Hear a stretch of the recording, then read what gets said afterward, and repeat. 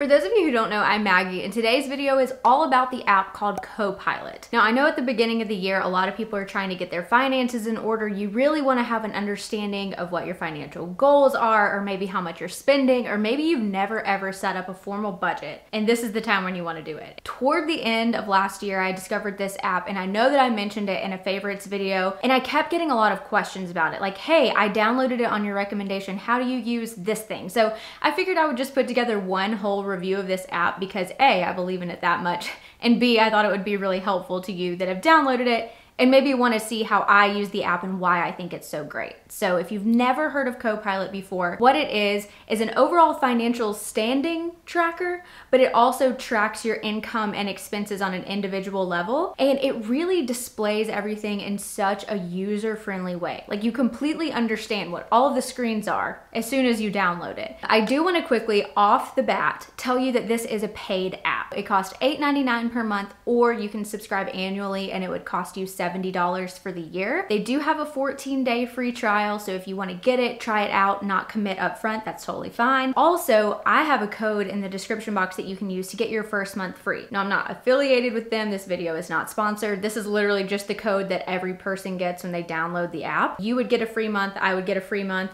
but no pressure there. Just wanted to tell you that that was an option. And so I think another good starting place would be to go ahead and compare this to Mint because I know you're probably thinking, what the heck? Why is this paid app worth it when Mint is a free app that I can use to do pretty much the exact same thing? And you're not wrong, but I used Mint for years and years and loved it. The thing that was so frustrating about it though is that it's really high maintenance. Like you would have to go in and I would have to recategorize my expenses all the time. And I felt like creating new budgets wasn't very intuitive. I'll get into how Copilot is very smart about that and helps you set realistic budgets, which Mint didn't really offer in my opinion. And also Mint advertised to you so much and it made me like question everything every single time I logged in. For instance, insurance. And it would be like, we noticed your insurance payment could be a lot lower. Like here's some other options from insurance companies. And really what those were were like paid ads. That part was kind of annoying. And because Copilot is a paid app, they don't have to work with advertisers. So you get a completely ad-free experience when you're using it, which I really, really enjoy. But the one thing where Mint does win over Copilot is that they do have a desktop version. And at the time that I'm filming this, which is January of 2022, Copilot does not have a desktop version, which I know will turn a lot of you off, but they have an export feature that we'll talk about in a few minutes. So stay tuned. All right, the way that I've decided to organize this video is by screen in the Copilot app. And the first screen that you'll see listed by default is the Accounts app. And I love this one because it gives you an overall picture of your net worth at the very top of the screen, which is kind of a hard number to come by if you're trying to track everything on an individual basis. Now, I will say this with the caveat that if you don't link all of your accounts, it's not giving you a super accurate picture of your total net worth. I did feel comfortable linking all of my information in, so I have all of my credit cards linked in, my actual checking account, and then all of my investment accounts as well. Now, one thing to note is that I do have a Target Red card, and for whatever reason, it makes me re-verify that all the time. Like, every week or so. So I just stopped verifying it. So that is the one thing that I left out. Maybe it's just a little buggy with that particular card. Now I mentioned at the top of this video that this app is super user friendly and one great feature that you can do on the accounts tab is exclude any account that you don't want to see activity for. So recently I was added to my parents' bank account, but since I never use that money, I don't touch that money, I'm just on it for safety reasons, I excluded that from my view so that their money is not factoring into my net worth. So if you have a similar situation, you have the power to completely customize your view on the accounts page. So the next screen that shows up by default is the investment screen. If you chose to link all of your different investment accounts, so how this screen is organized is at the top, you can see your estimated returns on your investments for a specified amount of time, or you can look at the live balance of your investments over a certain period of time. And as you keep moving down the screen, you can see the top movers. You can also see the return on your individual accounts, and then you can see the individual holdings of all of your investments. So it is very insightful, but for me, because I'm investing for the long haul, I don't pay a lot of attention to this screen. I just kind of move it to the very end of my dashboard views, which you can do because you can reorder how everything appears. Well, I like to know it's not really what I'm concerned with on a daily basis, but if you are, There you go. The next screen is the transaction screen, and this is hands down my most viewed screen on this app. So as you can probably imagine by the name of this screen, this is where you view all of your transactions. And I love the filter features that Copilot offers here because you can filter by account, you can filter by category. So is it groceries, shopping, pets? You can filter by month.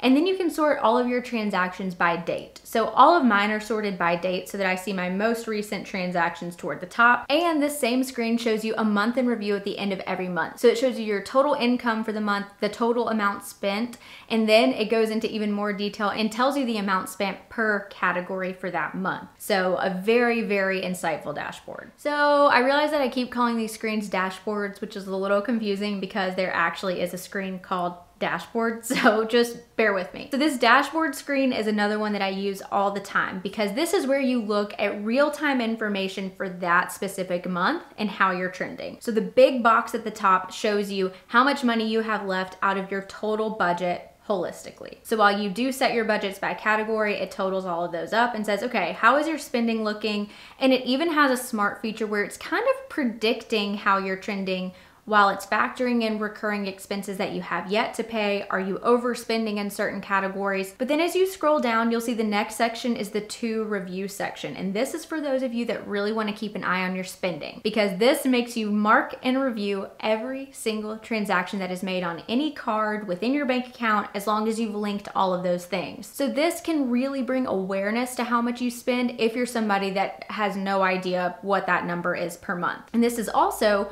where I tend to catch any categorizations that may seem off. So for instance, in this example, we bought Nash some more dog food. So that was from chewy.com and this app recognized that that was for the pets category. So I can go ahead and mark that as reviewed. But then I also bought some scents from Pura. So rather than marking that as shopping, I actually want to mark that for the home because that's like something that we use at home. So you can recategorize that and you can actually set it to remember that going forward and it will always categorize it as home moving forward. If you keep scrolling down down, you see your budgets and where you stand against all of those budgets. So the ones where you're over will be shown first, the ones where you're getting really close will be shown second. Then you can see your upcoming charges. And this information is pulled from the recurring tab that we'll talk about in a minute. You can see your overall income for the month against the prior month so that you can see where you're trending, are things looking better, worse. I think that this screen is also where you will keep track of any fraudulent charges. Since every single charge comes through for your review, if you know you didn't shop at some certain retailer or you would never spend that amount of money on something, this is a really good screen to help you catch that because you're reviewing every single transaction that comes through. The next tab is the categories. And at the very top of this screen, you're going to see your total budget number and how much you've spent so far. But it's the part below that's actually the most insightful and that's where you're actually setting all of your budgets. So here you can see that you set each budget by category. Now let's say that the default categories that it comes with based on your past transactions aren't all encompassing. You can see at the bottom area, you can add a category and each category has a color associated with it and an emoji so you can kind of customize these for yourself. Then you'll also see a button at the bottom that's called rebalance budget and if you click that be sure that you do so toward the end of the month because that budget is only going to rebalance for your existing spending for that month. This is really cool if you like to view your budget holistically and you don't necessarily care how much you're spending per month because what this is doing is analyzing your spending for the whole month and reallocating the dollars to create a more realistic budget. That's just a feature I don't use a lot, but wanted to throw it out there if you thought that was cool or if you're not very used to budgeting and you do want to learn to set more realistic budgets, that's what the goal is with that. The last screen that you have is the recurring feature. And I think this is so cool. And this is where this app does it all for me because I used to have a separate app called Truebill and that was to monitor my subscriptions. And then I had another app called Mint and that was monitoring my transactions, but I wasn't viewing both of those things together. And this is where this app truly brings it all together and allows you to see everything in one place. So you can see your recurring expenses, which it goes and analyzes all of your expenses and puts this together for you. Like you do not have to do any of the legwork here, which is awesome. So I know each month I should expect our home alarm system, Spotify, my Peloton membership, all of our utilities. That's pretty much it for me. If you maybe are missing a transaction here or maybe one of those transactions is new and you know it's going to be recurring, but there's no historical data that shows that, you can go ahead and manually add that here too. They even track recurring expenses that are biannually or quarterly. And I think that's really cool. Our pest control people come spray once every six months. So it knows in May, our pest person is coming back and it's gonna cost about this much. So in my May budget, it's gonna go ahead and account for that. It is so smart. And then once those things are paid each month, you'll see a little check mark in the top corner of a box and that will show you, okay, great.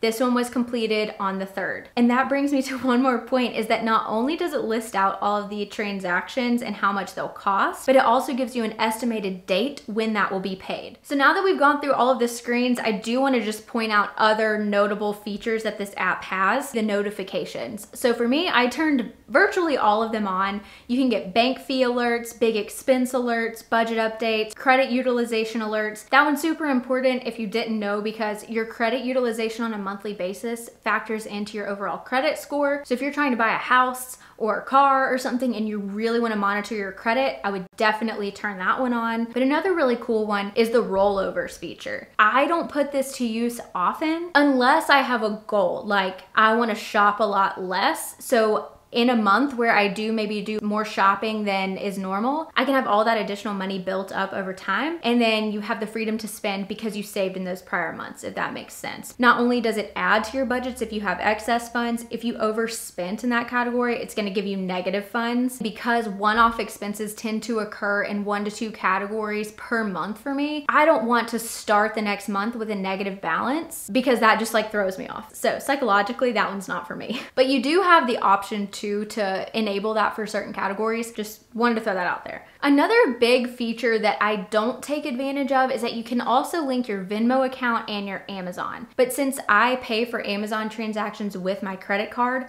I'm already seeing those come through, but they're just listed as Amazon. So I kind of have to remember what I bought. If you're linking your Amazon account, it actually lists the product that you bought so that it can categorize it better. For your Venmo transactions, what I try to do is always transfer my balance over to my bank account so that I'm not paying money out of my Venmo balance because then I'm tracking the money outflows from my bank account when I pay somebody, and then I'm tracking all of my money inflows through that transfer to my bank account. That's how I like to do it personally. I think it's way easier to keep track of your spending that way than paying out of your balance and trying to figure out the difference or going through your Venmo and logging everything. But that's what that is trying to account for is so that if you do pay out of your balance, it's showing that as a cash outflow. And it's also reading the descriptions in your Venmo charges and trying to categorize it for you. So again, super great features that I don't take advantage of because I'm super anal about just logging it myself.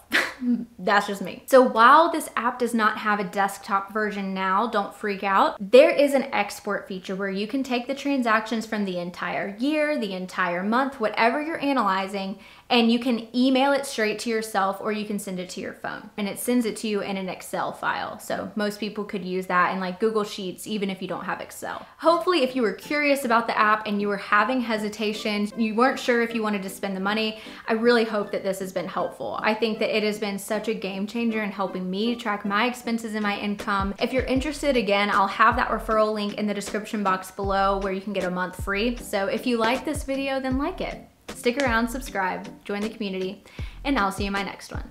Bye.